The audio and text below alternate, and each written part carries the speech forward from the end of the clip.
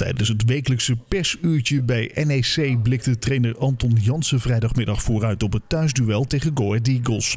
Na de thuiswinst op ADO Den Haag, de bekerwinst op FC Utrecht en het gelijkspel in Gelredome bij Vitesse lijken de Nijmegenaren op de goede weg.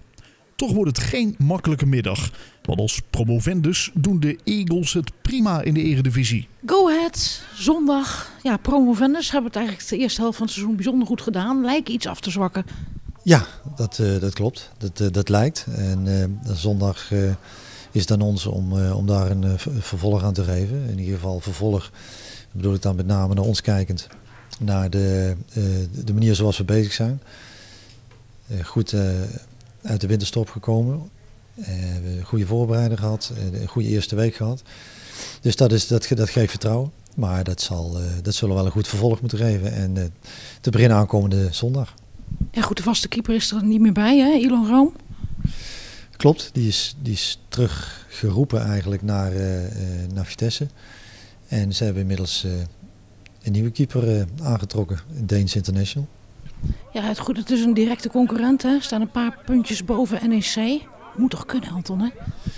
Nou, we hebben veel directe concurrenten als ik het lijstje bekijk. Want tot en met plaats 9, die kunnen we beschouwen denk ik als directe concurrent. Want uh, daar, daar, staan, daar, staan, er zitten zes punten tussen.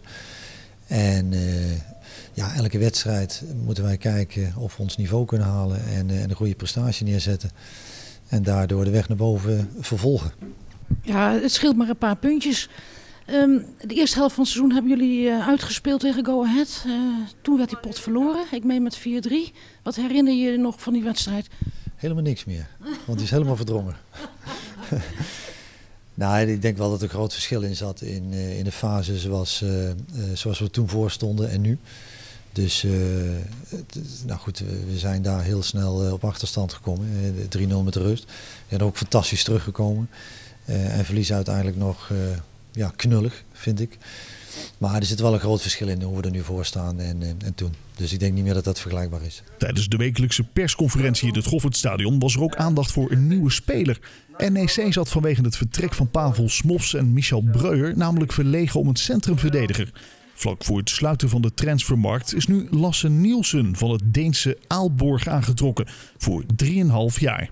Yeah, I'm uh, just turned 26 years.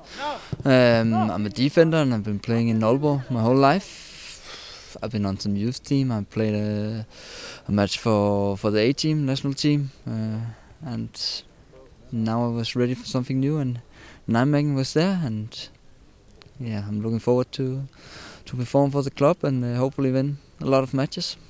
How did they contact you? Yeah, first I heard from my agent that they made an offer uh, for my further club. Uh, uh, and from there I met uh, with Edo and had a good talk with him. and he was the guy who convinced me that this could be a good move and I'm sure it's going to be. Yeah, this is the first day with the team, and uh, they've been very kind to me. So um, I'm looking forward to playing with them. But of course, uh, I need to know uh, to learn them a little better, and all the names too. It's it's difficult in the beginning.